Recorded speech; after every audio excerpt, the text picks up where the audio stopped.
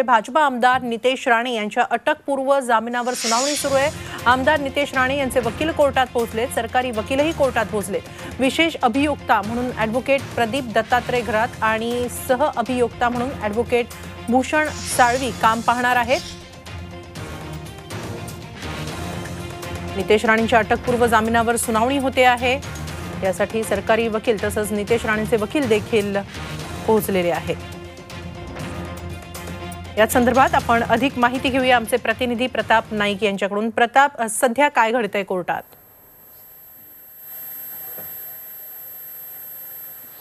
खरं तर आता काय कोर्टामध्ये घडतंय याकडे सगळ्यांचंच लक्ष लागून राहिलेलं आहे. काही वेळेपूर्वी ज्याच्यावर हल्ला झाला तो शिवसैनिक परत देखील कोर्टामध्ये आलेला आहे. खरं तर आपण पाहतो की नितेश राणे त्याचबरोबर पूर्ण राणे कुटुंबीय सिंधुदुर्ग महाराष्ट्राचं लक्ष या निकालाच्या निकाल काय येणार याकडे लागून राहिलेलं आहे. एकूणच आपण पाहतोय की तीनशे सात आणि त्याचबरोबर कट करणे असे जे एफ आय आर दाखल केलेला आहे त्याच्यामध्ये आत त्या आरोपीनं ज्यानं हल्ला केला त्या आरोपीनं नितेश राणे आणि गोट्या सावंत याचं नाव घेतलेलं आहे. अशा प्रकारचं जे गुन्हा नोंद केलेला आहे त्याच्यामध्ये अर्जात त्यांचं नाव गोवल्यामुळं घातल्यामुळं त्या ठिकाणी नितेश राणे यांचं नाव आले अशा प्रकारचा आरोप राणे कुटुंबियांनी केलेला आहे. आणि त्याचबरोबर याच्यामध्ये कुठंही थेट आमचा संबंध नसताना आम्हाला यामध्ये टाकलंय अशा प्रकार सुद्धा म्हणणं आहे. पण एकूणच आपण पाहतो की आता सुनावणीमध्ये नेमकं काय होणार?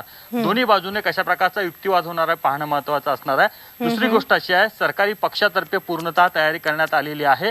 कट रचण्यामध्ये नितेश राणे यांचा सहभाग दिसून येईल अशा प्रकारच्या गोष्टी आम्हाला आढळून आहेत. अशा प्रकारचा युक्तिवाद केल्याचं दिसून येते असं कोर्टाला सांगण्याचा प्रयत्न केला जाणार आहे. तर बचावात्मक जे वकील आहेत नितेश राणे यांचे त्यांच्याकडून मात्र यामध्ये नितेश राणे यांना मुद्दाम गोवण्यात आलंय. अशा प्रकारचा युक्तिवाद करत काही इथं न्याय निवाड्यांचे जे कागदपत्र आहेत ते कोर्टाला सादर केले जातील आणि त्याचबरोबर सहभाग नसताना यामध्ये सहभाग आणण्याचा प्रयत्न केला जातो त्यामुळं अटकपूर्व जामीन द्यावा अशा प्रकारचं मत नितेश राणे यांच्याकडून व्यक्त केलं जाणार आहे किंवा मांडलं जाणार आहे कोर्टासमोर.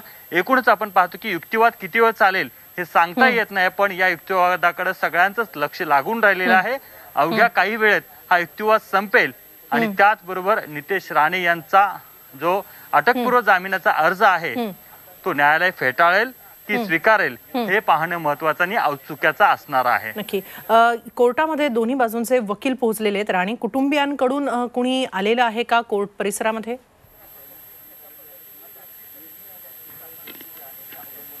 सध्या राणे कुटुंबियांच्याकडून कोर्ट परिसरात कोणी आलेलं नाही सकाळीच ज्या वेळेला नारायण राणे यांची पत्रकार बैठक झाली त्यावेळेला नितेश राणे किंवा कोणी आहेत का सिंधुदुर्गात पोहोचलेले आहेत का असा प्रश्न उपस्थित केला होता. पण योग्य वेळेला ते बाहेर येतील पण सध्या ते कुठे आहेत यावर मी काही सांगू शकत नाही. अशा प्रकारची प्रतिक्रिया नोंदवलेली आहे. पण एकूणच आपण पाहतो की शिवसैनिक जे आहेत ते मात्र कोर्ट परिसरामध्ये आलेले आहेत. काही जण युक्तिवाद ऐकण्यासाठी कोर्टात गेलेले आहेत. अशा प्रकारचं चित्र आहे. एकूणच आपण पाहतो की ही जी इमारत आहे ती जिल्हा सत्र न्यायालय सिंधुदुर्गची आहे आणि आतमध्ये कोर्टात आपण पाहतोय युक्तिवाद सुरू आहे. युक्तिवादामध्ये कोणकोणत्या पद्धतीचे मुद्दे मांडले जातील आणि त्या मुद्द्यांच्या आधारे न्यायालय काय निर्णय घेते हे पाहणं महत्वाचं आहे.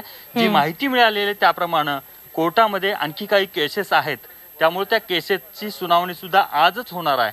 त्याच्यामध्ये नितेश राणे यांचा अटकपूर्व जामिनाचा अर्ज आलाय. त्यामुळे कोर्ट कशा प्रकारे या सर्व अर्जावर निकाल देणार की राखून ठेवणार या सुद्धा या संदर्भात सुद्धा उलट सुलट बोललं जाते कारण अनेक केसेस. असताना हीच केस आजच निकालात का काढावी? अशा प्रकारचा मुद्दा सुद्धा. कोर्टाकडून व्यक्त केला जाऊ शकतो. नक्की. प्रताप आम्ही वेळोवेळी याबाबत तुमच्याकडून अपडेट्स घेत राहू. तुर्तास धन्यवाद. मराठ्यांची तळपती तलवार. म्हणजे